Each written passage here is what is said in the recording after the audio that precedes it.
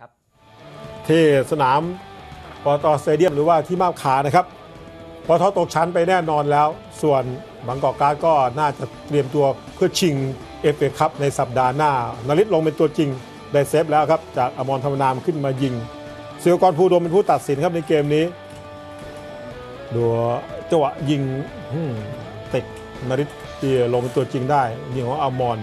ยังศูนย์ศูนย์ ลุยต่อครับจังหวะของเดสมาโยก โยกหาช่อง หาละซักโค้งก็นริตแปะ แปะไม่พ้นโดนซ้ำบนตัวซ้ำดับที่2ในดับแรกเนี่ยโขกมาเสาสองครับ เป็นอัมอัมดูออตตาล่าที่โขกที่เสาสองทางเสาเนื้ออมรโขกตั้งมาให้เนี่ยครับอ่าโดนนริตปัดมาเข้าทางอัลตาล่า1-0 นาทีที่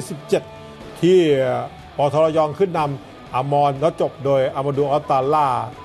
อ่าดูว่าจะสวยเมื่อสายหรือไม่ครับทปอททำท่าว่าจะมาดีไปแผ่วใช่ครับสองนัด ก่อนหน้านี้ก็เลยทำให้ตกชั้นไปแล้วบางกอกกลาสได้โอกาสโต้ตอบบ้าง แต่ก็ไม่เข้ากรอบนะครับลูกยิงอืมอนุรักษ์สีเกิดดูว่าปีหน้าจะเป็นอย่างไรครับกับบางกอกกลาสลูกฟรีคิกของปอทนริศชกออกมาเติมหม่ครับปอทลุยหนักเอามาดูเอามาดูออตตาล่าผิดเหลี่ยมไปเยอะครับ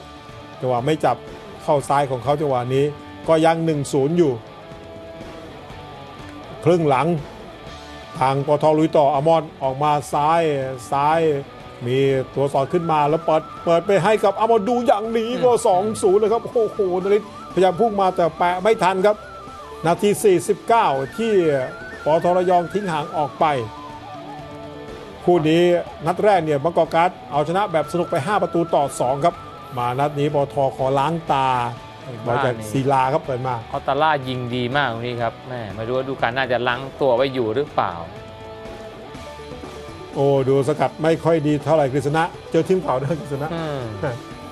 เอาบอลบอลแป๊กมาตรงนี้ทาเซฟสกี้เจอแหย่ด้านหลัง